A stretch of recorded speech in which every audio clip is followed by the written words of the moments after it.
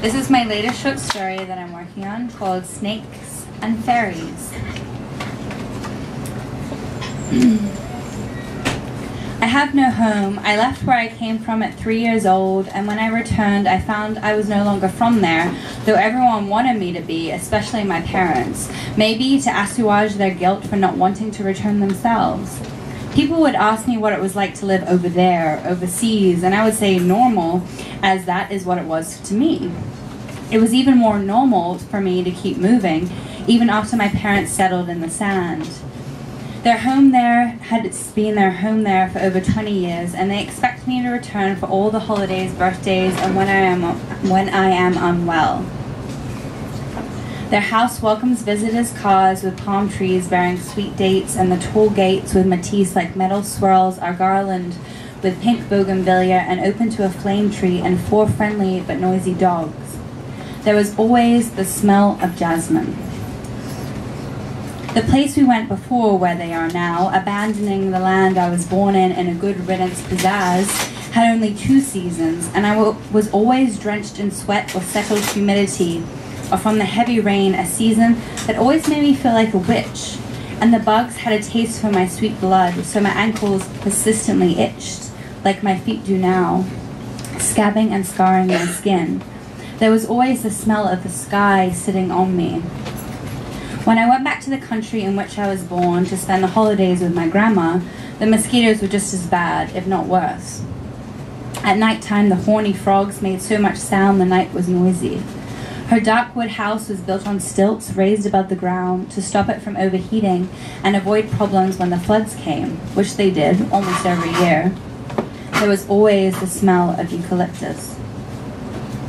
One Christmas holiday, when my sister and I were staying with my grandma, we noticed out on the balcony beyond the sliding mosquito screen door a giant snake.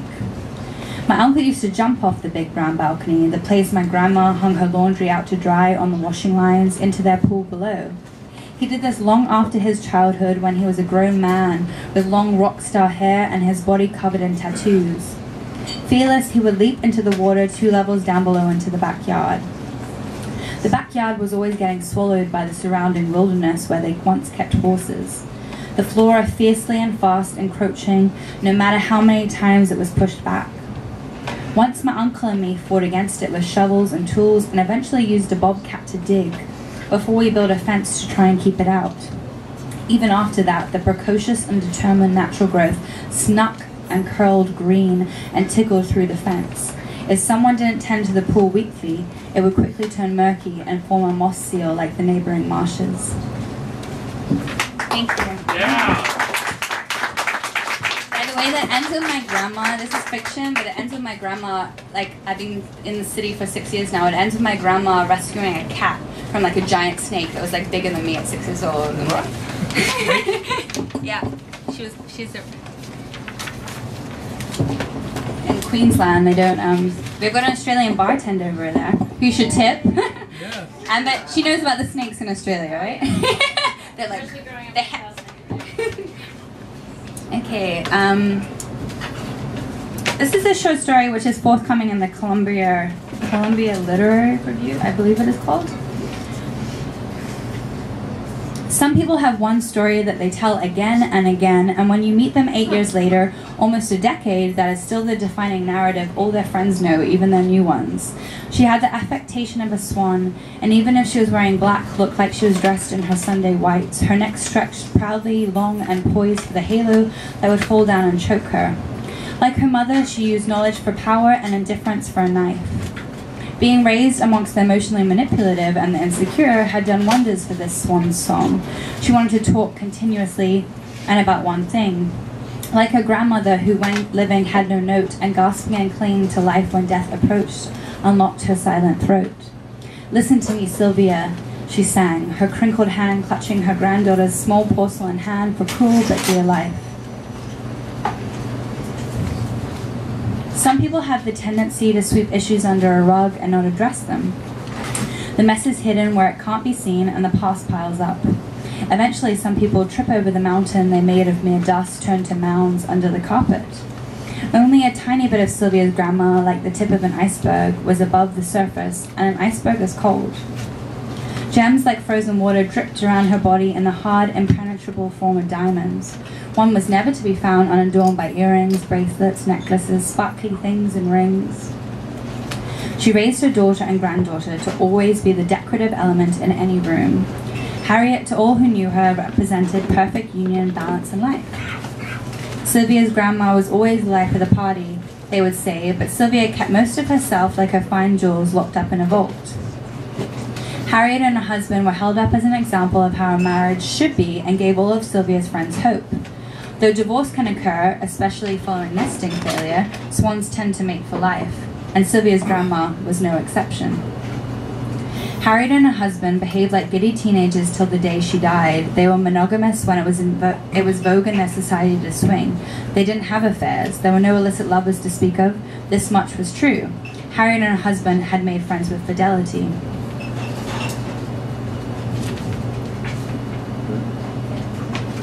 Skip, I'm just to skip ahead a little bit. Oops.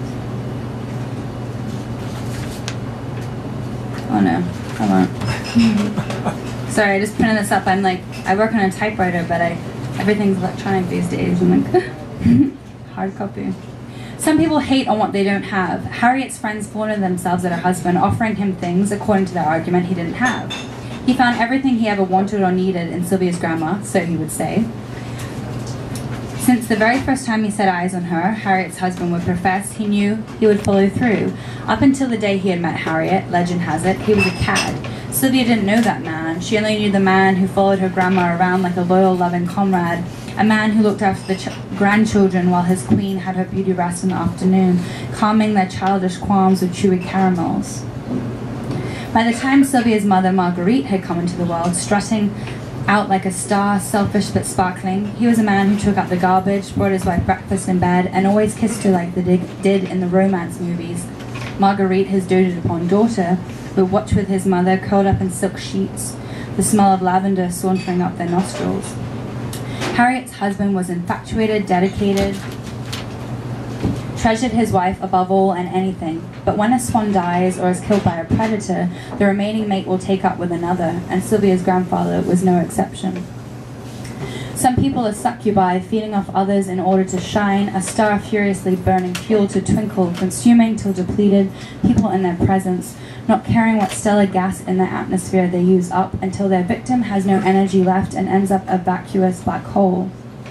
Sylvia was shocked when her grandma, gripping her granddaughter's hand, propped in lacy cream colored pillows, china cups covered in pink roses, a plate lined with dainty flowers, and coconut vanilla macaroons, piled high on her vanity for deathbed guests to take tea, dying is no excuse to be a poor hostess. Visitors must be greeted graciously, said some things one is not accustomed to hearing their grandma say, especially this grandma. Harriet was not known to curse nor be catty, but swans are known to be aggressive, known to aggressively protect their nests. One man was suspected to have drowned in such an attack. As the story sank in, Sylvia stared at a small shrubbery, a bunch of scrambling wild roses, briars, pretty and prickly like Sylvia herself, next to a fragrant, thorny Maya tree covered in sharp daggers, its aromatic resin the most exquisite perfume at her grandmother's window. Some people shift professions during their lifetime. Harriet's husband began his career in politics at an exceptionally early age before transitioning to finance after he met her.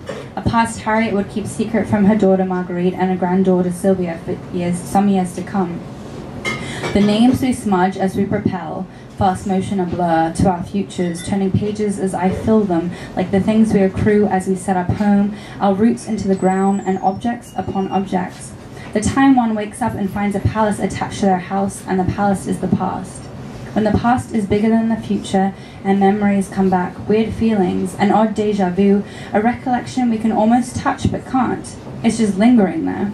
Intangible and ephemeral, like finding an old deodorant and smelling it and remember something you can't define.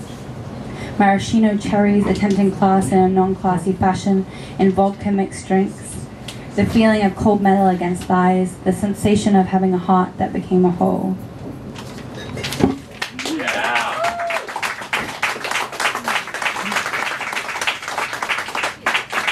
have a poem now? Four minutes. Four minutes?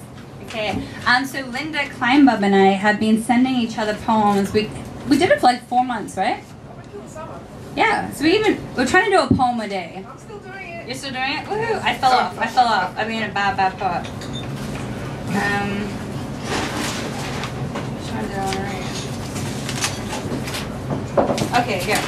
Oh, uh, I'm a poetry whore, and this is when I'm in the poetry brothel. Um, Join the club. So August 4th, we, Linda and I sent a poem a day back and forth to each other. This is August 4th, 2015. Our Daily Mirror. To think we did all that and not in a shy way. The mother was late, denial, but when she arrived, her and an entourage dressed in black crowded and cuddled at the coffin, and her mother fiddled with her daughter's hair and redid her makeup and repositioned the flower a few times before removing it. Her mother asked me who I was. Friend? Friend? I nodded yes. Didn't say lover.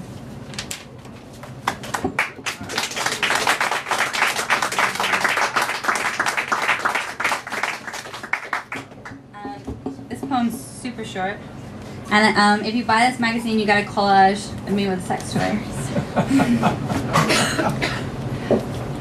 um, May 209. And actually, if you want to submit to this, they're open till the end of um, December or January. Get the one, no, it's- End of this month, yeah. Three Rooms Press, Maintenant 10. Okay, my poem's called Electricity. Electricity does not always mean a connection.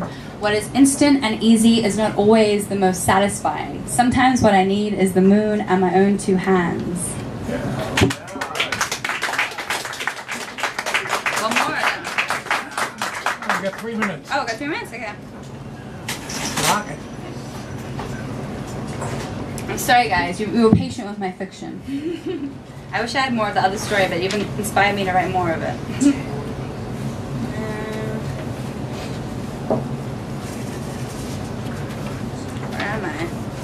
is Jeffrey Wright, um, magazine Live Mag. Oh, here it is. I found it. And this is to Audre Lorde, The Erotic as Power. And, oh, I work on a typewriter also, and this is my typewriter shape. You have a beautiful voice, sir, by the way. I'm sorry I don't have that Connecticut drawl. That's a South Carolina draw. South Carolina? Okay. To Audre Lorde, um, I was photographed for, oh, you said no insurance. Okay. To Audre Lorde, The Erotic as Power. He was a milksop, ineffectual boy in big shoes, and I like big, big men, gorillas, and I like to feel small. Belief systems don't always align with reality. I am mercurial, subject to change of mood or mind, fleeting like a fairy, but you cannot capture me. My light cannot be kept in a jar. I am fleeting and free. An empowered woman is dangerous, but can one be powerful in need? I need someone to take care of me, and I need to start taking care of me. I don't mean money. I mean, I want him to tend to domesticity, do my dishes, and feed me. I work so hard, my mind on many matters, I forget to eat. I need him to sustain me in the kitchen and always make me come, know what makes her unhappy, and eliminate them one by one. She liked her work, it worked her like she worked herself. With each touch of her clit, she was energized and powerful. Wow.